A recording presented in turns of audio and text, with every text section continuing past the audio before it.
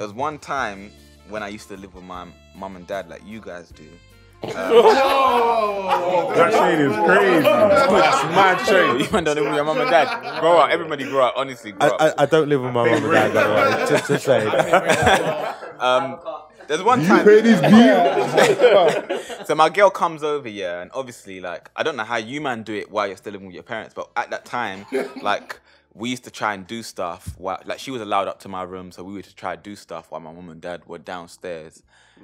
Uh, don't shake your head, guys. Risk, risk takers, bro. Yeah, risk taking, but it's like you know when you're just chilling upstairs, you're laying down, you're spooning, things are gonna happen. Like it's not fully fledged sex, but it's like. so there was one time, yeah, Lipson. like yeah, lips in, bare lips in. There was one time I was on top of her, just lips in, had my top off, but her clothes were on, yeah. All I hear is my door open.